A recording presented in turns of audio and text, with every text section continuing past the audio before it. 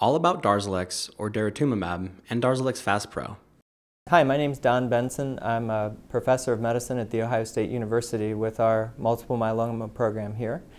And very grateful to be part of the series uh, talking about monoclonal antibodies. And uh, first of all, a drug called daratumumab or Darzalex. This was the first monoclonal antibody that was approved back in 2015 to treat uh, patients with multiple myeloma. Monoclonal antibodies um, are a big family of treatments for all, all kinds of conditions, not even just limited to cancer. There's monoclonal antibodies to treat a variety of conditions, and they've been around for over 20 years now. What is Darzalex Faspro? It's the exact same drug as Darzalex, but rather than given as an intravenous drug, it's actually given subcutaneously like a shot. They work the same way, they're the same drug, they have the same efficacy, and generally the same risks and side effects, although the shot form, Faspro, is much more convenient and much more practical for patients. What is the mechanism of action of Darzalex or Darzalex Faspro? Or how does it work? Monoclonal antibodies, sometimes called naked antibodies, are made in a laboratory. These man made antibodies are designed to function like the natural occurring antibodies in our immune system. They target specific proteins called antigens on the surface of cells. Monoclonal antibodies attach to the target antigen and can restore, enhance, or mimic the immune system's attack on foreign cells. In 2015, Darzalex was the first one that was FDA approved, and I'd like to talk a little bit about how this drug works, how we use it in the clinic, um, the advantages of this drug, some of the risks and side effects with uh, Darzalex treatment. So Darzalex is a monoclonal antibody. It's designed uh, to target a protein on myeloma cells called CD38. And Darzalex, when it's administered, uh, circulates in the bloodstream, identifies myeloma cells, and sticks to them on this protein on the surface called CD38. And when that happens, it allows several uh, consequences. The first is that it can act as a flag to recruit immune cells to come and kill those myeloma cells. Darzalex also can kill myeloma cells directly through a process called apoptosis, which means programmed cell death. And finally, Darzalex can also work through uh, a third complementary pathway called the complement pathway uh, to kill myeloma cells. When are Darzalex or Darzalex Faspro used? Darzalex has several indications. Uh, it's given in a regimen for newly diagnosed patients in combination with Revlimid or lenalidomide and dexamethasone. It can also be given in newly diagnosed patients with melphalan and prednisone and bortezomib or Velcade. There's another indication that's for newly diagnosed patients where we give the drug with uh, bortezomib or Velcade and thalidomide actually if somebody is eligible for a stem cell transplant, although that's not commonly used in the United States. Other indications for Darzalex in the NCCN guidelines for newly diagnosed myeloma include Darzalex with Revlimid, Velcade, and dexamethasone, and Darzalex with Cytoxan, Velcade, and dexamethasone. Darzalex is also approved in the United States to treat people whose myeloma has relapsed or come back, and we typically use it in combination with Revlimid or with Velcade, and sometimes with a drug called Pomalyst as well. Darzalex has many specific indications in relapse and refractory myeloma. According to the NCCN treatment guidelines for myeloma, Darzalex can be used in the following combinations. The preferred combinations are Darzalex with Revlimid and Dex, Darzalex with Velcade and Dex, and Darzalex with Kyprolis and Dex. Other combinations are Darzalex with Cytoxan, Velcade and Dex, and Darzalex with Pomalyst and Dex. Darzalex may be useful in certain circumstances by itself or with selinexor. What are the common side effects associated with Darzalex and Darzalex Faspro? Darzalex um, generally is a very well tolerated drug. It's an immunotherapy. In other words, it's not a chemotherapy, not a cytotoxic chemotherapy that works by poisoning the cells, but again, an immunotherapy, which means it works through the body's immune system. The main side effect that we see with Darzalex is when people get the drug the first time, they can have an allergic reaction, again, because of how the drug works through the body's immune system. Many people on the first day will experience some subtle and some mild immune-mediated side effects, such as some hives or some itching. Sometimes people can have flushing. Sometimes people can get wheezing uh, or other types of immune side effects, and very rarely some people can have anaphylaxis, like you hear about people who may have with a bee sting um, or, or other allergies. We can manage those very effectively in the clinic. We can turn the rate of the medicine down. Uh, we can give medicines to prevent immune side effects. And usually people get through that first day okay. To reduce the risk of delayed infusion reactions, post infusion medication should be administered the day after every infusion. An oral corticosteroid, which is fewer than 20 milligrams of methylprednisolone or an equivalent, is administered. However, if a background regimen specific corticosteroid like dexamethasone or prednisone is administered the day after Darzalex infusions, additional post infusion medications may not be needed.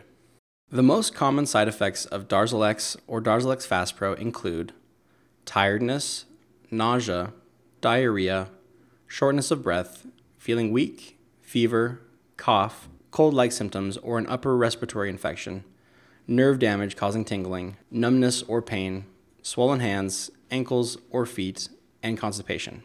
Tell your healthcare provider if you have any side effect that bothers you or that does not go away. These are not all the possible side effects of Darzalex or Darzalex Faspro. Call your doctor for medical advice about side effects. Darzalex and Darzalex Faspro can decrease white blood cell counts, which help fight infections, and blood cells called platelets, which help clot blood. Your healthcare provider will check your blood cell counts during treatment with Darzalex. Tell your healthcare provider if you develop fever or have signs of bruising or bleeding. Additionally, suggestions for managing fatigue and other side effects discussed in this video can be found in the Patient Solutions tool of HealthTree CureHub. Search on a specific side effect to find solutions that others have found helpful. These solutions have been provided by patients just like you. You can also filter side effects by an individual drug or combination of drugs.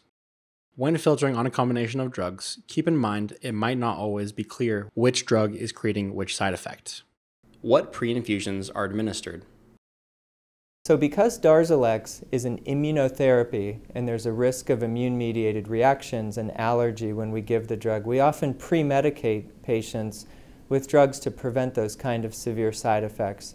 We typically do this with uh, dexamethasone, with a steroid that I'm sure everyone is familiar with. We also use Benadryl.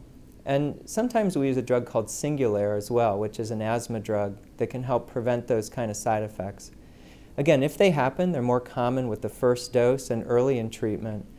And many of our patients, once uh, they've been on the drug for a while and their uh, myeloma is in remission and things are under control, we can reduce the doses of the dexamethasone and in some cases even get rid of it when, when we get out to that monthly dosing with Darzalex. Uh, personally, that's one of the advantages I like um, with the drug, to give somebody a remission that doesn't involve chronic steroid use. What pre-infusion medications are needed with Darzalex Faspro? With Darzalex Faspro, which again is that subcutaneous shot version of the drug, we still use the same pre-medications that we do with the IV dose. Again, it's the same drug, it's the same chemistry and the same pharmacy, and so we will typically pre-medicate again with the corticosteroid, with dexamethasone, uh, as well as with Benadryl, and sometimes even with the drug Singulair, uh, to prevent those kind of allergic reactions and make the drug more tolerable. Janssen, the makers of Darzalex, recommend to also use acetaminophen, such as Tylenol, as a pre-medication. What is the dosing schedule of Darzalex and Darzalex Faspro? It's typically given, it depends on the combination and the setting, but typically given once a week for the first eight weeks, and then goes to an every other week schedule and finally to a monthly schedule. And again, it depends on the setting and the combination that you're using. Darzalex and Darzalex Faspro have the same schedule. The schedule depends on what combination of anti-myeloma agents you are prescribed and whether you are newly diagnosed or relapsed. Below are the typical schedules that are recommended, found on Janssen's website. Janssen is the maker of Darzalex and Darzalex Faspro. The following combinations were tested with Darzalex in clinical trials. Each combination of Darzalex and other drugs that has been tested in clinical trials has its own dosing and scheduling. You can find these schedules at darzalex.com. How long is the Darzalex infusion? When we give Darzalex, we're very careful on the first dose because of the risk of immune-mediated side effects and allergy so that first day can be a long day. It could be an 8, 9, even 10 hour infusion. And it really depends on the tolerability and how the day goes. There are some hospitals and some community settings where people even spend the night in the hospital and they divide the dose over two infusions. Again, really just for safety purposes.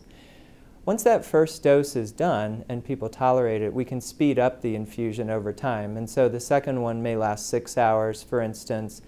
And oftentimes we can get people down to a four hour infusion, which is still a pretty long day if you think about it. A couple years ago, my colleagues and I here at Ohio State did a, did a prospective study with what's called rapid infusion. And we did, a, we did a clinical trial where we gave patients Darzalex over 90 minutes. And so these are people who had had at least three doses and had tolerated the drug well, and published this paper several years ago showing that the 90 minute infusion uh, is very safe actually. So in our experience here, we typically uh, start slowly, make sure everything's well tolerated, and then for most of our patients here, we can speed the infusion up to the 90 minute infusion. How long does it take to receive Darzalex Faspro? One of the advantages of the Faspro formulation, though, because the shot is generally given over 10 to 15 minutes, and people can get in and get out and get on with their day uh, with less time spent in the uh, infusion clinic. Although the risk of injection related reactions is much lower with Darzalex Faspro, patients are monitored for a few hours after the first dose or two. How does Darzalex or Darzalex Faspro interfere with determination of treatment response? One of the idiosyncrasies of Darzalex that's important, especially if you have a myeloma that secretes an IgG protein, is that Darzalex itself is an IgG antibody, and so it can interfere with some of the blood test results. When they do the immunofixation, or the serum M spike or serum M protein value, oftentimes the Darzalex in the bloodstream can be captured in that test and falsely raise the result.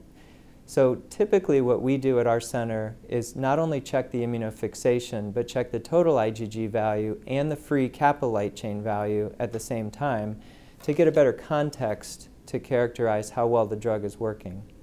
There are strategies out there that can subtract out the Darzalex part of the monoclonal protein, and sometimes we do that in clinical trials and research settings. Uh, it's not something that's really caught on to my knowledge in, in uh, the standard of care setting. But something just to be aware of, that when you start on Darzalex, it may be working extraordinarily well, and you'll still notice a little bit of that IgG protein in the blood. That's probably the Darzalex in circulation. What is the dose of Darzalex and Darzalex Faspro? So the dose of Darzalex is standardized. It's 16 milligrams per kilogram, so it's based on your body weight, and it's consistent through the dosing interval. As long as somebody's on the dose, they get the same dose. Sometimes patients ask me, can I do a dose reduction if they've had side effects? And typically we keep that same dose at 16 milligrams per kilogram, although sometimes we will intentionally space the infusions out uh, to try to help mitigate side effects and improve the practicality and tolerability of the medicine. Darzalex Faspro is a fixed dose that comes in a single dose vial. The recommended dose of Darzalex Faspro is 1800 milligrams of daratumumab and 30,000 units of hyaluronidase, administered subcutaneously by a healthcare professional over approximately 3 to 5 minutes.